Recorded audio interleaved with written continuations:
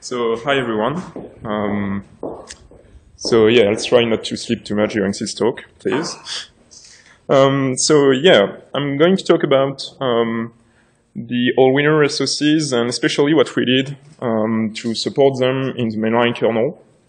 Uh, you'll see that obviously Allwinner, since they are mostly targeted at Android, uh, provided some Linux kernel working already, but it was quite far from the mainline quality um, in several ways that we are going to see. Um, and so with a few other people, we actually started mainlining this a uh, bit less than two years ago. Um, and we ended up, well, and we are actually going on with this effort because it's not done yet, but we made some good progress that we are going to detail. Um, so yeah, so um, I'm Maxime. Uh, I work at Free Electrons, where I am an, embedded Linux engineer and trainer. So we do training for Android and Linux as a whole. So we have some trainings for drivers uh, and everything, but it's also part of our day job. So we are also Linux developers. Um, and as such, I'm the maintainer of, uh, well, the Allwinner SOCs, obviously. And I made some various contributions to other embedded toolings. Um, um, so I've been talking a bit about Allwinner, but what is Allwinner? So Allwinner is a Chinese SOC vendor um, that is based in Zhuhai, so which is just near Hong Kong, but in the mainline, uh, mainland China. Um, and they basically only did ARM uh, SOCs, so they had like a very old uh, ARM9 based design um, when they first started in 2007, so it's kind of a new vendor a young one. Um, and then now I've been switching to doing multimedia SOCs. Um, so it's SOCs that you will find in every cheap tablets and phones you might find from, I don't know, um, Best Buy in the US or La Fnac in France or something like that. All these cheap tablets have most likely an Allwinner SOCs or some equivalent from another vendor. Um, and in just seven years, uh, they've been able to take um, a nice market share in the tablet space. Um, so it's 15% in 2013, so behind Apple, but it's basically the only other vendor that is um, in front of them in the, in the market. Um, why is that? Um, because most of the time we know the big players here, so you probably all have heard about TI, Samsung, and everything, and whenever you are buying a tablet, with it, well, you notice that it's an NVIDIA or TI1, but you won't notice the SOC in some cheap tablets you will buy at 50 euros. Um, and so, yeah, it's most likely an Allwinner one. It can be a Rockchip one as well, uh, which is another Chinese uh, SoC vendor. But it's mostly the two key players in the low-end market. And so they have a lineup that is quite huge now. Uh, so they have the F series, that are the old ARM9 based one, which are not supported in the kernel. Um, you can't even find any hardware for it. Uh, it didn't even run Linux in the first place. So it's, yeah, we don't know much about this one. Um, and actually the first one to be really uh, supported and seen in the wild uh, have been the um, A10 and its derivative, so which are A10, A10S, A13 mostly. Um, so which have been Cortex-A8 based, so it was a single uh, CPU SoC, uh, which was very cheap. Um, and they made some derivative until they started to use a multi-core CPU, uh, a multi-CPU design, which was the A20, but basically the A20 is just the A10 and they switched the CPUs to uh, dual Cortex-A7 and that's, and that's it. So it was kind of trivial to support as well. Um, and then they switched to a very new generation of SoC, where a lot of controllers and everything changed uh, with the A31, and they went on with this generation with the A23 and A33, where basically they also switched from GPUs, for example. Um, they were using the Mali one from ARM um, in the first ones. Uh, they switched to a PowerVR from Imagination. Um, and so it's, yeah, dual quad Cortex AS7 uh, SoCs, so they are quite beefy and you can do a lot, a lot with them. Um, And yeah, and finally there's the A80, which is the latest one, which is a big little one. So it's, I don't know if you know about big little, but it's uh, like a concept introduced by ARM, where they mixed uh, very powerful CPUs with very power efficient CPUs running at different frequency and everything. So it's um, not uh, symmetrical multiprocessing like it's usual, um, but really the CPUs are running at different frequency and have different processing capabilities, so you have to take that into account. Um, and yeah, so they have a new SoC that is, um, yeah, starting to, to ship. Um, and so one thing that is interesting with these multimedia SoCs is that they have very strong development boards availability. Um, there's a few vendors that are providing really good boards, uh, which are really development boards. So you have all the pin headers and most of the signals available directly on the on the system. So it's very easily, uh, well, very easy to use to do some hardware and low-level development. So among them, you will find Olimex, which is based in Bulgaria. So it's even in the European Union, so it's quite easy to, to source and to buy. Um, and you have the Cubieboards as well, um, which are probably the most famous of these boards, but are kind of uh, declining now because the guy who founded Cubieboards left like a year ago or something like that. And so, yeah, they don't do as good boards as they used to. Um, so yeah, so it looks like that. Um, so you have an Olimex board on top and a Cubieboard um, beneath. Um, so it's very cheap. So for example, the Cubieboard that is there um, has a dual CPU based SoC, um, SATA, gigabit Ethernet, and everything, and it costs, I think it's around 40 euros, uh, shipping fee included. So it's like very cheap. Uh, and the one on top is this one based on a single core SoC, but chips for like 30 euros or something like that. So it's very convenient to, to, to, to buy because it's, yeah, very cheap. Um, and so with these boards, usually we had the Allwinner kernel that was shipped um, because they had to run Android. Um, and so the Allwinner kernel um, was based mostly on two kernel versions. Um, the first one was Linux 3.0 uh, for the first generation SoC with a single CPU. And the next generations were based on a 3.3 or 3.4 for the, for the latest uh, kernel. Um, and it's basically just like every vendor code. Um, it's kind of full of hacks and everything. Uh, they don't care about mainlining at all. So it's just, you just have like a huge diff stat uh, whenever you compare it to a real uh, from the kernel.org kernel. Um, and they don't care much about the other resources because they just care about their own. Uh, so you had like a lot of shortcuts in, this, in the code every everywhere. So it's not very, um, by today's standards at least, it's not very nice. But if you look at it from like kernel that was around this time frame, so from 3.0 and everything, it, it's not very different from any vendor code. I mean, it's not very clean, but it's, yeah, kind of okay. Um, the thing is, uh, they never updated this kernel. Um, so they have like still uh, the Linux 3.3 or Linux 3.4 kernel, so it's very ancient by now. Um, and they don't use at all any of the subsystems and features that have been added uh, ever since, for the, especially for the ARM SoCs, like they don't use the common clock framework to handle the clocks in your system. They don't use DMA engine for the DMA transfers and everything. So there's basically no consolidation at all in the source code. You just have like their own private API, and that's it. So it's kind of tricky even to port it to this um, to these new systems. And you don't have the choice anywhere. You're stuck with it because Allwinner just gives you this.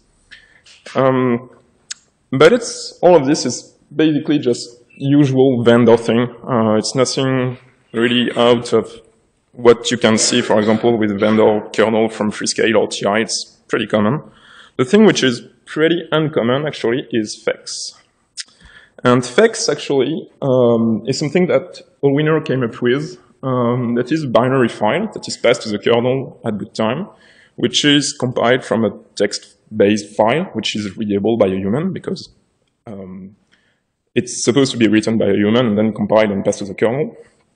Um, and so the thing that Fex does is basically tells to the kernel which devices are enabled, uh, with what muxing, uh, the clock frequencies, the clock time, the memory timings and everything. So everything about the hardware itself, um, the regulator voltages and everything. So it basically just looks like that.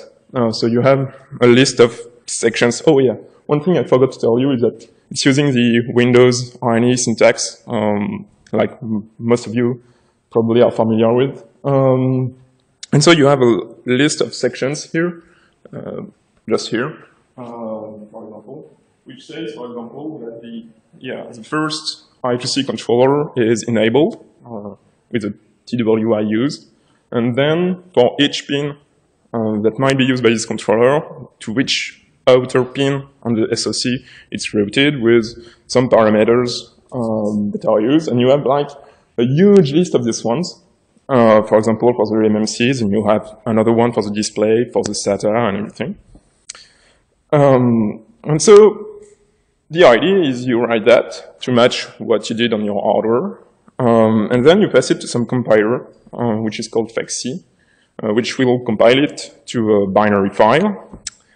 Your bootloader will load this binary file, load the kernel, boot the kernel, and the kernel will be able to read this file and have the data it needs to be to be able to run.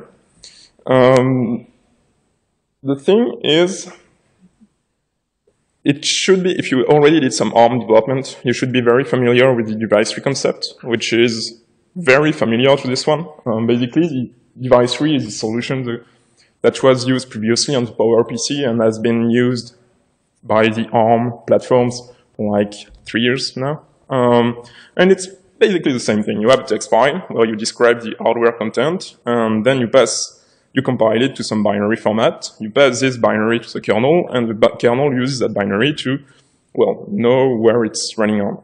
Um, the thing is, with the device tree, the, the Linux implementation actually instantiate every device from the device tree, and so you have the information that is created from this data, this data file, and in Fex, uh, it's actually the other way around. So every driver will be get probed, and then they will look into the Fex file, for example. So in this case, the I2C driver will be loaded, and it will look into the Fex file to know if it's allowed to probe, and if not, will exit, and otherwise will just continue its life.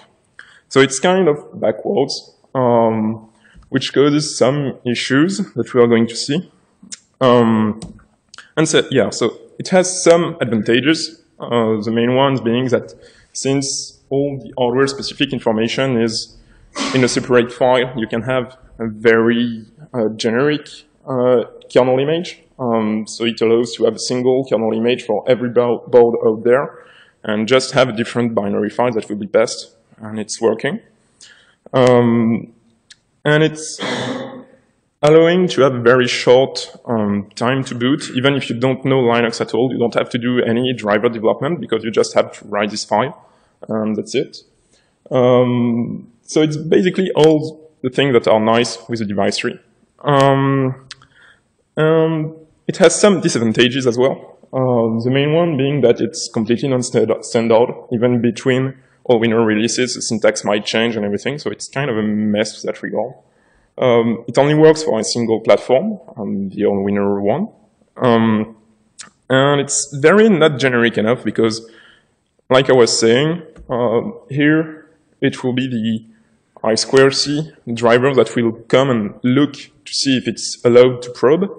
But on a multi-target system, um, what I2C driver is, is allowed to probe? You might have several I2C driver in your system. Uh, for example, uh, might have the Marvell one and the Allwinner one. Which one should probe in this case? You have no idea. So it's working very well, but it's basically just not generic enough. Um, except for some guy that you might have heard of, um, which started a huge flame war some time ago. Um, like a year ago or something. And the guy had an agenda where he was saying basically that, hey, you're the kernel maintainers, um, and you should apologize to Allwinner because you didn't pick their solution. Um, and by the way, device tree is crap. Um, and so things heated up, as you might imagine. Um, and during the, during the exchange of mails, um, he said some very true things, like um, the fact that the script.fex um, work very well. So it's allowing to have a very generic image for Allwinner and to ship it very easily. And that that's true, actually. Um, and that's something that we should really aim for for device trees, and we are coming there. Um, but at some point in the discussion, some guy said, okay, now I have a Cubieboard that I introduced previously, and I have some I2C pins that are exposed. And on these pins, I want to load a PCA 9532, which is a GPIO expander, if I remember correctly. Um, so I have some device that I want to put on my header. How do I do is FEX. And then the guy said, well, you're out of the target market. So basically you have either this hardware or, well, you're not supported by FEX. So which is exactly why we can't use it in the kernel. Um, but yeah, it fits our solution. Um, so it's something that we had to go away from. Uh, we had to replace FEX by the DT as part of the mainlining process. Um, and we had some nice solution to do that as well. Um, and finally, they had like kind of a bit of, well, yeah, quite old boot process as well. Um, in the sense that you might choose between Allwinner's boot process, which had, which is in blue here, um, so which was based on their own bootloader, which was which were called boot zero and boot one. Um, boot zero being in charge of doing the low level initialization, um, then boot one doing all the all the rest. Um, and actually, you could have started the Linux kernel from there, um, but they chose to load uboot instead, which was after that in charge of loading the kernel, so which is a bit odd. And you had the solution from the community that already started, um, which had replaced all this by the uboot directly, um, and some component that is compiled from uboot as well, which is called the SPL. Um, and so you had to choose between the two, but yeah, the two would do. Uh, the two could start kernel, and we could be happy with both. Um, yeah. And so all that was, there was already a community involved, actually, around these SOCs when we first started. Um, this community was called Linux sunxi. Um, and they started around a company that was called Rhombus Tech um, during 2010, I guess. Um, and they forked off uh, in 2011, which is pretty much the time I joined. Um, and so it's very active. Um, there's a lot of people on IRC on mailing list. Um, but there's only a few very active developers, so it's like 10 of us or something like that. So it's still a lot because they're all hobbyists and everything. They do that on their spare time. There's no company behind them, but still. Um, and so basically they just work on whatever they see fits. For example, some of us are working on the U-boot. Um, some of us are working on the DPU reverse engineering, for example. Um, others are working on the GPU itself. Um, it really depends on what you are interested. We don't really have an agenda there. We just aim at making it better. Um, there's kind of an issue with them as well, is that they're not always very reasonable. Um, in the sense that they want to support everything with free software and everything, which is a good goal, but it's not always reasonable, like I was saying. So for example, all these new SoCs will be just not supported um, because they have a PowerVR GPU, which is considered evil. Um, so they just want, just don't, don't want to support it. Um, yeah, which is a bit of a shame if you ask me, but anyway. Um, but still, they achieved some very interesting things, uh, which allowed us to go further. So for example, they documented the SOC and the hardware, even though we didn't have very nice uh, documentation like you might have some from, from other vendor. They documented the BSP that Allwinner was giving as well. Um, they maintain their own version of Linux, their own version of U-Boot, like we saw. They bring up some distributions as well. So you had, for example, Android or Debian or Ubuntu and everything running on your hardware directly, uh, which was something that was not done by Allwinner. Um, yeah, and so one of these achievements, like I was saying, is maintenance of Linux, which might seem a bit a bit redundant with what we did for the maintain from the mainlining. But actually what they went for is that the release process of a new SOC for Allwinner was basically just dump tarball on their website, and that's it. And the, this tarball was just supporting a single uh, SOC from them, and that's it. So you had to switch from one tarball to another if you wanted to support two different SOCs, even though there was some very minor difference between them. Um, and so one of the things they did is to gather all this source code and unify all of that, if you want, consolidate all of the code, fix the bugs that they could find. So it's basically what they basically went for maintaining the Allwinner code, uh, cleaning up and everything. Yeah, but they always stuck with 3.4. They never updated the kernel because there's like a huge ton of patches on top of it. Um, and it's a very long process to upgrade it to a new kernel version. So they never went for that. Um, and yeah, so it's kind of a disadvantage from this uh, community because um, even though they spend a huge amount of effort to maintain this code, it will only get worse because from 3.4 actually you have a lot of kernel releases that are made ever since. And whenever they wanted a new feature, they had to backport and everything. So it might have been some trivial features, but they also went for like huge feature like memory allocators and everything that were backported by some hobbyists, which are very clueful, but still it's some backport that not from the original author, so it might be bug prone. Um, but one of the things that did well is that their kernel basically had all the Allwinner features so you have all the display working, all the sound working, so you can just pick your tablet, and with their help and their wiki, you can put an image on it, and it will work just as well, even better.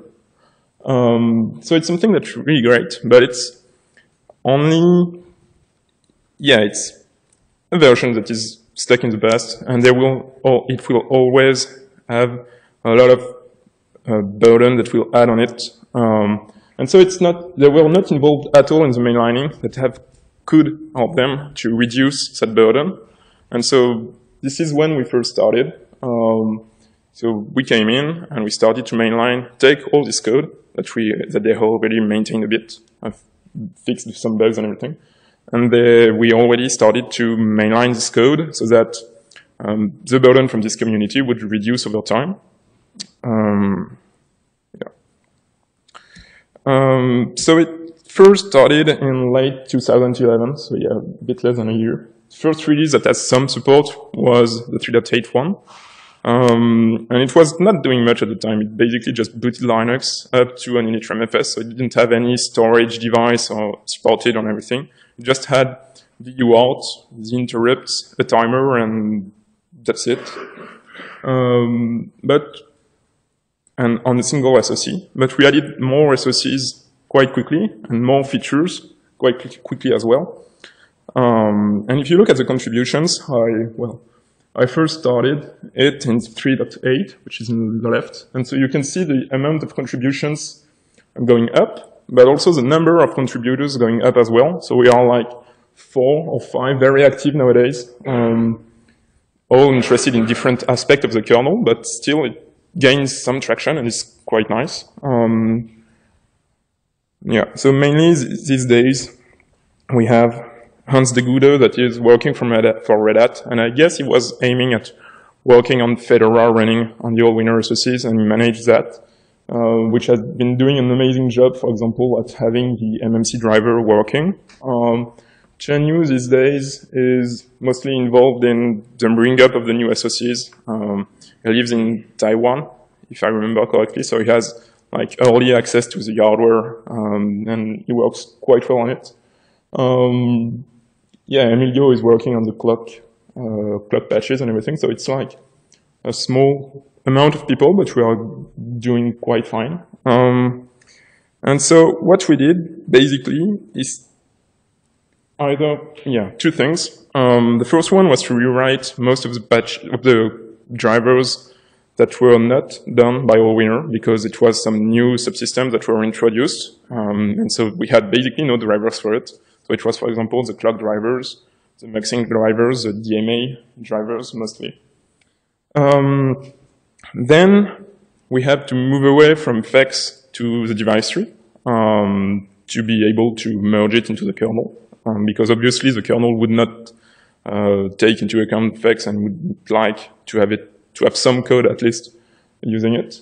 Um, then we had to some cleanup to do, and then probably the longest part uh, is to get the code accepted. So publishing it, having reviews, uh, posting new versions and everything to the relevant maintainers.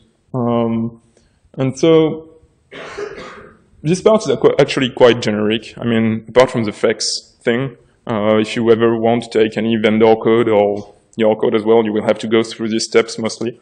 Um, and something, yeah, usual.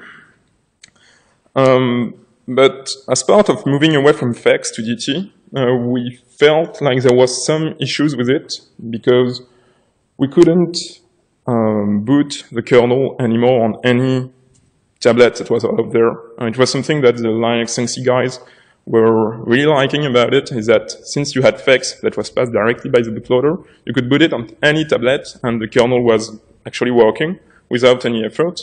And we were kind of losing that by switching away from FEX to DT because we had to write first a new device tree, which is not always kind of easy to do for someone that is not used to writing these files. Um, and so we came up with uh, a solution that was called Babelfish, um, which is basically a runtime FEX to DT translator, um, which will behave like an old Allwinner kernel, uh, but will embed both um, the main device trees from the platforms, um, the kernel, the real mainline kernel image in it, and we'll take the FEX data and generate a device tree from the skeleton and from the FEX file, pass it to the kernel, uh, to the mainline kernel, and boot the kernel after that. Um, which is working great. Uh, the thing is, we have kind of a bootstrap problem with it at the moment because, well, no one wants to test it uh, because there's not enough features. And since there's not enough features, uh, no one wants to develop on it and everything. So it's, yeah, a bootstrapping issue. But it's kind of a good legacy solution, I believe. Um, and so it works just like that. Uh, you have a U image, which is kernel image for U-boot, um, which is very usual.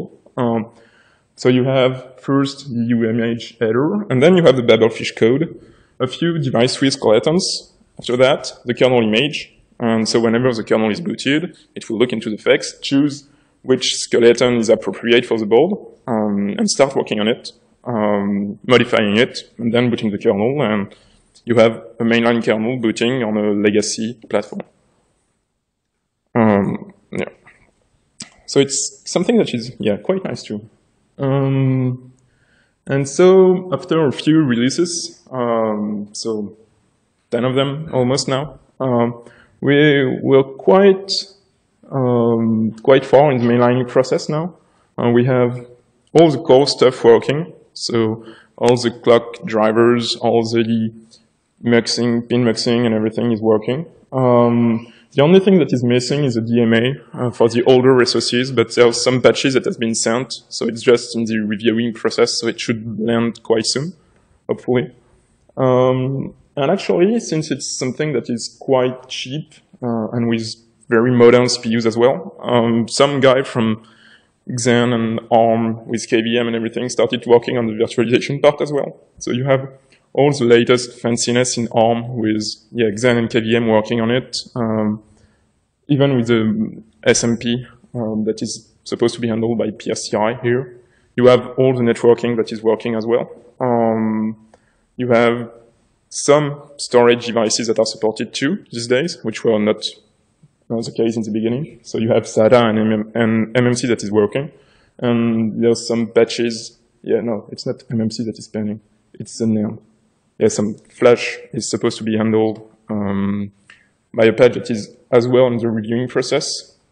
So you have pretty much all that is needed to for a netless device these days. Um, the only thing that is missing is, well, the user-facing sides. So all the display, sound, and everything is working, and it's something that is not very fortunate because it's also the most uh, uh, the hardest part to support in a kernel um, and the more most complex uh, controllers in the system. But yeah, there's some work on it. There's some sound drivers that have been posted as well and have been worked on by a Google Summer of Code student during this during this summer. So it's pending as well. And the display, well, we don't really know who it is, but there's some guy that is supposed to be working on it, but we never had any news. So yeah, we'll see. Um, and so what next? What's next now? Um, the first thing that we would like to have is some usage of our code by Allwinner, and that already started. So in their latest BSPs, which they're still based on 3.4, they started to grab some of our drivers to move to the standard frameworks we were talking about. For example, they took all pin controls or pin muxing drivers, uh, our clock driver as well. Um, and so it's actually a good thing. They start to move to standard API as well on their own, which is another good thing. For example, they switch to DMA engine for the DMA by themselves. Um, they switch to ASOC for the audio uh, card as well. Um, but they are still using FEX. Um, and hopefully it's something that I really like to happen is that they drop FEX in favor of device tree, but I don't see that happening in like even the next years. Um, and it's something interesting happened this year as well, that even though they didn't acknowledge any of the mainline kernel before and everything, um, they started joining Linaro uh, this year, so which is, for those of you that don't know what Linaro is, it's a consortium based around ARM um, that federate all the ARM players, so the, all the ARM vendors and the companies that are involved in the ARM ecosystems. For example, you have Facebook in it, I guess, these days. Um, so yeah, basically every company that is willing to enhance the Linux support in the ARM on the ARM platform. Um, yeah, and so if you want to get involved, we have a nice to-do list as well. Um, so yeah, good for you. There's only the hard work remaining. We did all the trivial parts, uh, but yeah, we have the NAND that requires still some work, and the audio is requiring some work as well. Um, all the video parts, so both the video acquisition and video displaying, uh, and the display actually, require some work too. So if you want to get involved in this, um, go ahead. Uh, there's some work on newer SoCs that might be needed as well. So if you want to get some device, it's actually quite trivial to, to do these days. And something that is um, very nice um, because, for example, in the latest kernel release, in a single release, we've been able to bring up the mainline kernel on a new SoC that was not supported before. And just building up on what we did so far, we just, yeah, it's now working and it's just like that. So it's something that is really nice. And for example, I updated the slides uh, last Friday, and I was saying that the A80 is not supported. And this weekend, some guy started running it, and now the A80, uh, there's some patches at least for the A80 to work. And it took like, it takes like 10 patches or something like that, and it's working already pretty well. Uh, so it's something that's really nice about mainline is that you have a lot of consolidation, and when you first uh, started and you have some drivers working, it's quite nice to build up new platforms on top of it. Um, and it's really something that you should consider as well. Um, and yeah, if you want to join, uh, feel free to yeah buy a new board and some patches. Um, but there's also been some lessons learned in the process. So I was doing that mostly on, as a hobbyist. Um, but whenever you are an hobbyist, you kind of try to rush things because you spent like some part of your holidays, of your weekend working on something and yeah, you think it's working quite well and then you submit your patches and you have no answer from the maintainer and it's kind of frustrating, but it's okay. I mean, the maintainers are human beings, like you were saying. Um, um, and basically, it's it's okay to wait. It can be in holiday or anything. Um. Um, something I learned, kind of the hard way as well, is that I start I have the tendency to start from scratch at the beginning, always, and it's not something that works that well with more complicated BSPs. So you might want to also consider cleaning up your work instead of rewriting it from scratch. Um, it's kind of tricky to know when doing one or the other, but it's something that you also learn. Um, documentation is very important as well when you work on hardware. Uh, some vendor doesn't provide any kind of documentation. It's a pain. Um, winner isn't really the best player here, but we still have some, so it's something. Um, and yeah, something that is quite important as well is that you don't want to be alone in there. Um, also because you have a lot of hardware that's coming out. Uh, you can't test on everything, so having more people involved implies testing it on more hardware. But also because people can just pick up your work whenever you leave it for some reason, or work on other things while you are busy doing something else. And something that is very nice as well. Um, yeah, I guess that's all for me. So if you have any questions. Yeah. Do you know any kind of vendor that does this stuff well from the beginning? Is that the stuff? What? Sorry. Do you know any sort of vendor that does this stuff properly since the beginning? Because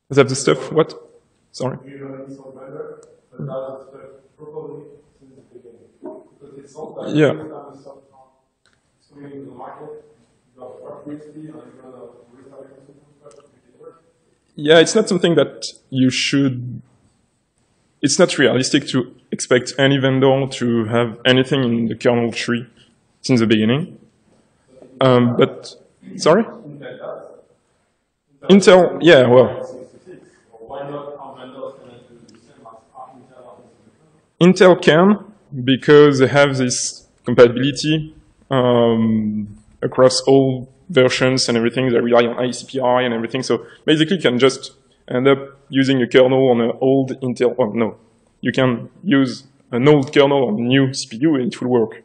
You can't expect that on an ARM CPU because basically it's just a mess. Uh, Intel standardized their platform uh, very heavily, and it's something that's really great for them because, yeah, you have hardware that is coming in and it just works. Uh, but in the ARM space, it's just chaos, and it's something that ARM benefited benefit from actually, because basically anyone can do anything, starting from, for example, Qualcomm just basically license the instruction set and design their own CPU and everything, up until some, I don't know, like most of the Chinese SoCs are just buying IPs from ARM, putting them together and shipping it. So it's kind of standardized that way, but you have the whole range of SoCs in between. So it's, um, yeah, it requires much more effort because no one has the same interrupt controller, no one has the same uh, Ethernet controller, for example. Um, or if they do, um, basically it will be mapped at another address or anything. So yeah, it's really a mess. Um, but there are some ARM SoCs that works quite well at doing this. Um, for example, Atmel is really great at doing so. Um, for their last SoC, uh, actually they announced the SoC and at the same time they said, okay, most of our patches have been sent already, uh, like half of them have been merged. So if you want to be SP, yeah, just pick up mainline plus or few pending patches and, and that works.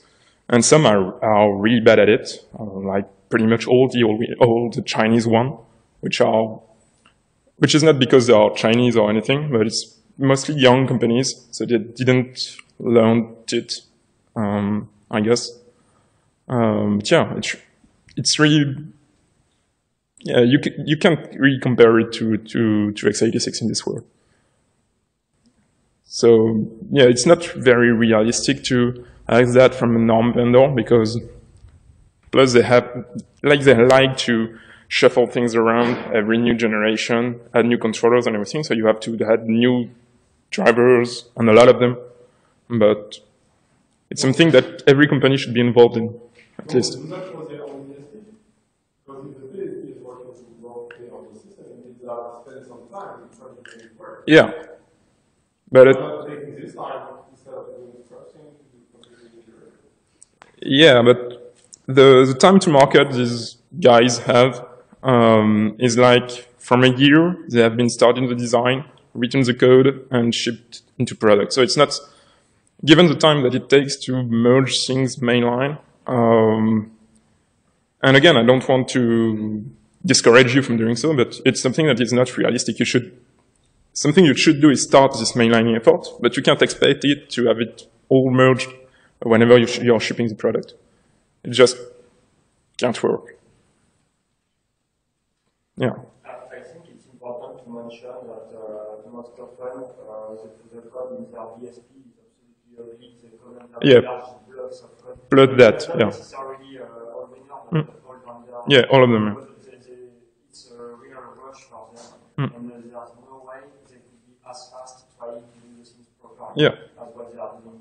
Yeah, of course. In Iran, they introduce a lot of regulation and nothing works except exactly what they want to do.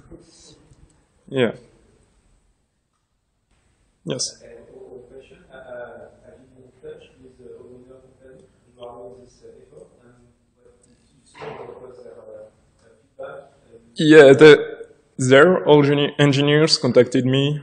Um, well, as soon as the 3.8 uh, went out, so they just noticed my work and they sent an email. Um, so they have like, I can't send them an email uh, asking more specific questions about their hardware and how it works and everything. So it works. Um, we we are in, in touch. Um, they do welcome our contributions because they took some drivers as well. They sent me some hardware too to work on, but yeah, it's pretty pretty much it so far. But I'm hopeful. Yes. I mean, you are part of the restaurant, so who is Yeah. paying for that for the No, we're not paid for it.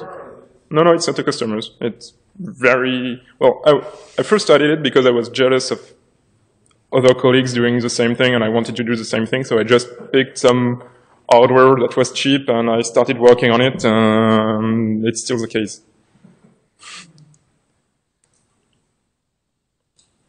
Yes. Did did you have some challenges with the power management issues? For example, uh, powering up the second CPU.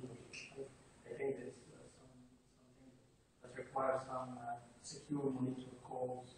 Um, so um, we do have SMP working. Um, it's true that it requires some secure privileges, um, but actually the bootloader starts us in the secure mode, so we can just do that in the kernel and that's fine. So it's something that's very convenient in this case, yeah. And how at what scale frequency? Uh, we don't have such support yet. It should be trivial to implement, uh, but no one worked on it so far.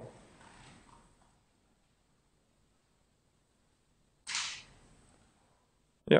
Um, Do you think that uh, the mainlining of uh, all this code uh, will uh, uh, improve the reusability of component parts uh, by vendor? You say, for example, every new uh, SoC has replace the internal controller or whatever, Mhm. maybe uh, if they find that there is a good quality code in the kernel and there is little benefit in uh, changing just one component, maybe it can be a good result for not changing them as often. Maybe. Yeah, maybe. Um, I don't know. I know, well, in this case, I've noticed that they tend to move away from their specific parts uh, to generic uh, or um, licensed vendor IPs. Uh, so for example, they had um, a custom-made interrupt controller that moved to ARM. Um, they had um their own Ethernet controller that moved to the designware one, I guess. Um, but yeah, there's a trend for them as well, um, because, well, not only on the software side, but I guess on the hardware side, it just makes sense. So yeah, I guess, I hope so. It would be easiest for us. For them, it reduces the time to market. Yeah.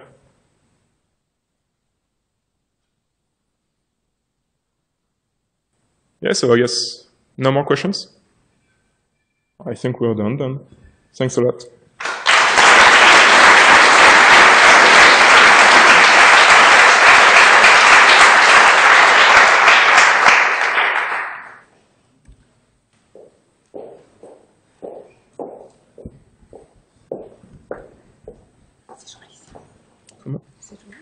ele.